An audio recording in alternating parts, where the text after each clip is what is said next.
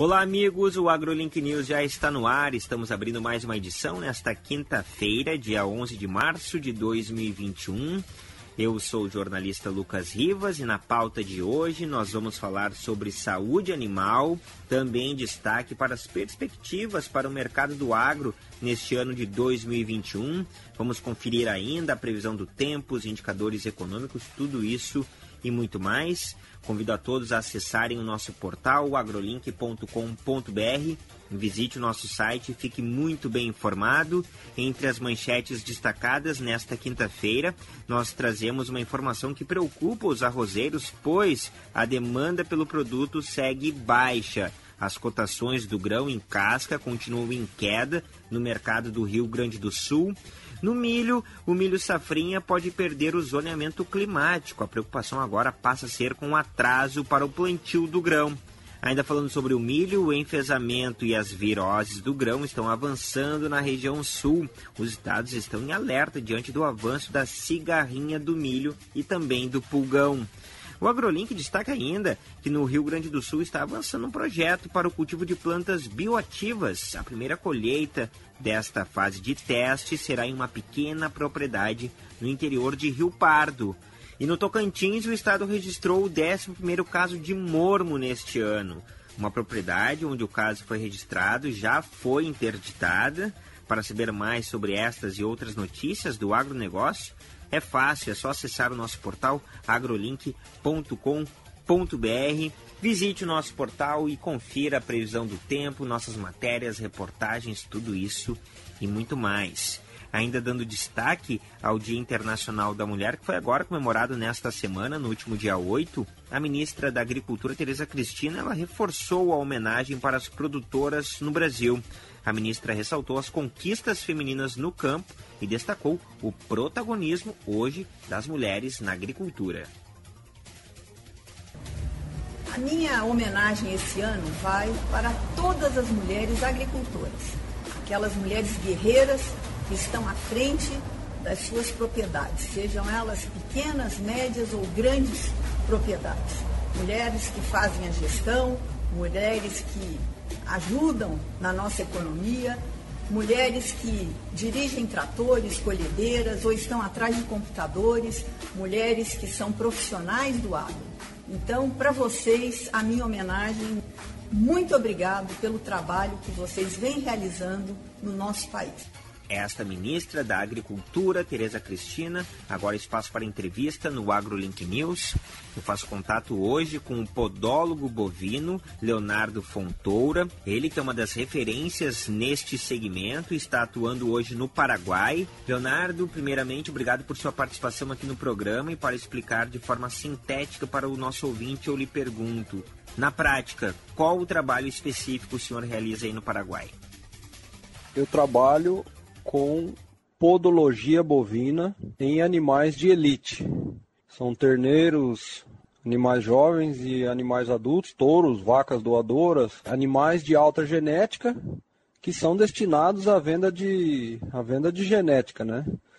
Tanto na comercialização de sêmen, venda de embriões, como até mesmo o produto final, o próprio animal, né? Que são destinados à venda também em feiras agropecuárias, em leilões de gado de elite e até mesmo para fazer gado de pista, né, que, que, a gente chama de gado de buçal, né, que é o que está tá destinado a fazer campanha e receber premiações. Cada mês são demandados a ir a, a uma, a uma feira agropecuária ou algum tipo de evento, então eu trabalho em cima disso daí. Especificamente seria isso. E como funciona esse trabalho de manejo junto ao animal? Nós precisamos primeiramente fazer um recorte de unhas, um recorte funcional, que nós chamamos, ou casqueamento.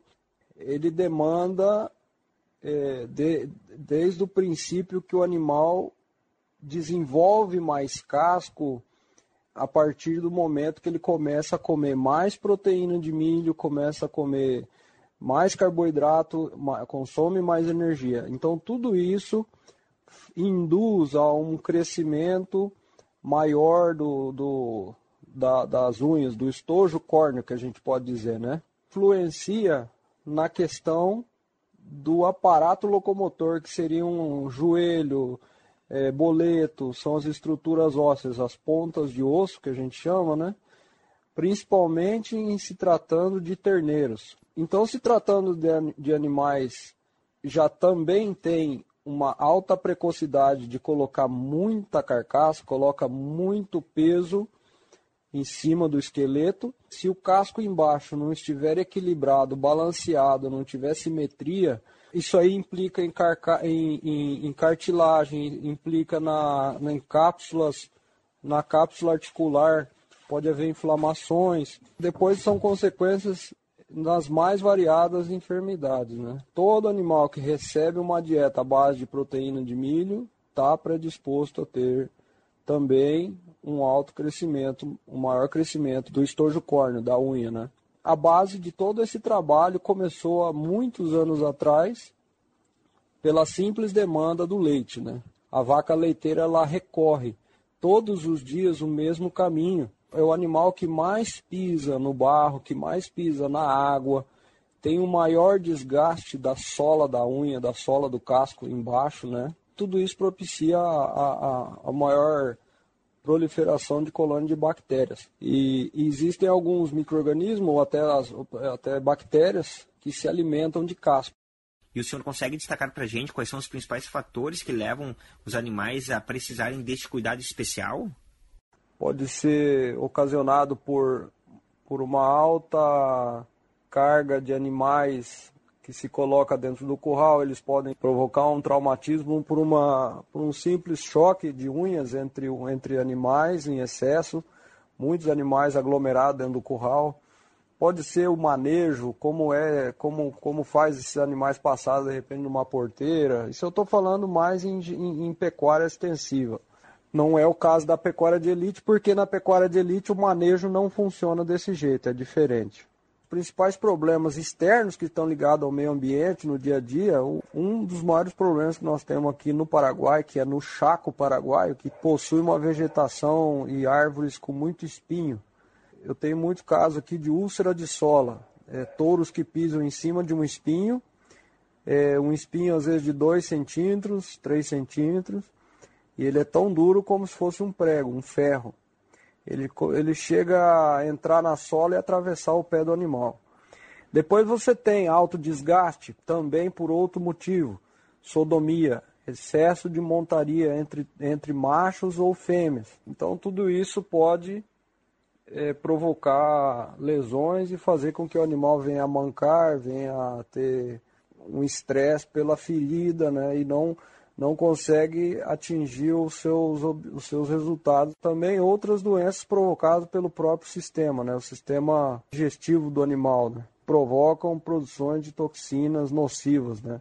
que fazem com que o animal manifeste aí doenças que é muito comum, principalmente animais que comem dietas ricas em proteína de milho. E em meio a esta pandemia, um ano depois, como o senhor vê o mercado agropecuário aí no Paraguai? O que sustentou a economia no Paraguai foi agricultura e pecuária, que foi o agro, assim como foi no Brasil. Se manteve a produção de carne, a produção de grãos. Agora mesmo a safra de soja aqui foi um espetáculo, está colhendo muita soja, milho. Acho que 2020 foi o ano dos confinamentos aqui também, porque nunca se produziu tanta carne confinada e semi-confinada, né? É, inclusive a, o preço do, da carne subiu muito, o preço da soja subiu, foi muito bom. E o ano 2021 segue do mesmo jeito. A única coisa que houve uma queda na, na demanda foram as feiras rurais. Né? Feiras rurais, não houve é, demonstração de, de novas linhagens por conta do lockdown. Acho que foi o único inconveniente que trouxe a pandemia, mas a, as feiras aconteceram de outras formas, que foram as feiras virtuais, as, os leilões, os remates de gado virtual.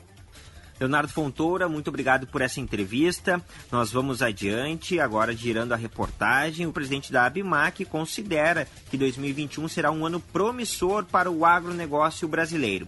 A reportagem é de Aline Merladete. Lucas, uma boa notícia para o agro brasileiro. Apesar da pandemia da Covid-19, que criou dificuldades logísticas e de produção, o setor de máquinas e implementos agrícolas brasileiro não parou.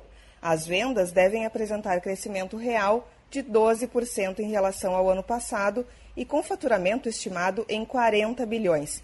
Esse cenário se deve a uma ótima safra agrícola o recorde das exportações do agronegócio e a valorização do dólar em 30%, que propiciou uma grande rentabilidade para os agricultores das culturas de exportação como soja, milho, café, algodão, laranja, celulose e carnes, conforme estima João Marquesan, administrador de empresas e presidente do Conselho da Abimac. Rivas. E eu trago mais uma nota positiva para a pecuária brasileira. O Comitê Científico da Organização Mundial de Saúde Animal reconheceu que o Rio Grande do Sul está apto para ingressar em um novo status sanitário. Com isso, o agronegócio gaúcho comemora um momento histórico. O parecer favorável para a retirada efetiva da vacina contra a fitosa no extenso rebanho bovino vai dar condições a empresas exportadoras para ingressarem em cerca de 70% de mercados até hoje fechados para o Rio Grande do Sul. O estado, portanto, agora passou a ser considerado como área livre de vacinação contra a aftosa. Boa notícia, portanto, vindo da pecuária gaúcha.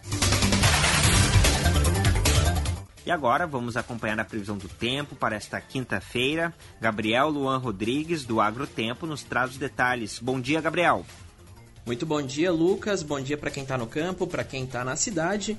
Nessa quinta-feira ainda temos o padrão de chuvas das ACAS, a zona de convergência do Atlântico Sul, que é esse corredor de umidade que atua sobre a parte central do país. Com isso, temos a possibilidade de pancadas de chuvas fortes entre o norte de Minas, extremo oeste da Bahia, Tocantins e no sul do estado do Pará. As chuvas dão uma diminuída no Mato Grosso e no Goiás, mas há previsão para pancadas típicas de verão para todas as áreas desses dois estados. Vale ressaltar que são aquelas pancadas isoladas e mal distribuídas que podem vir com acumulados significativos, principalmente na faixa norte do centro-oeste. Outro fator que também favorece as chuvas são as instabilidades de altitude, por volta aí dos 10, 12 quilômetros sobre o estado do Tocantins e do Maranhão. Além do que, no norte dessa região, entre o Amapá até o norte do Piauí, o posicionamento da zona de convergência intertropical favorece a formação das nuvens carregadas. Outro fator que também está contribuindo na manutenção do corredor de instabilidade sobre o interior do país é o ciclone em alto mar na costa sul do Brasil. E à medida que ele avança, uma massa de ar seco também avança, deixando o tempo mais seco entre o sul do Rio Grande do Sul, oeste de Santa Catarina, oeste do Paraná, oeste de São Paulo, até o sul do Mato Grosso do Sul. Poucas chances de chuvas também entre o sul da Bahia até o Rio Grande do Norte. Para quem quiser mais informações sobre tempo e clima, acessem agrolink.com.br barra agrotempo. E agora vamos aos indicadores econômicos, a cotação da soja em balsas no Maranhão. A saca de 60 quilos sendo comercializada 161 reais. 179 reais é o preço da soja em Passo Fundo, no Rio Grande do Sul, em Bebedouro, no estado de São Paulo, 174 reais, e a soja sendo comercializada hoje a 165 reais em Rio Verde, isso no estado de Goiás.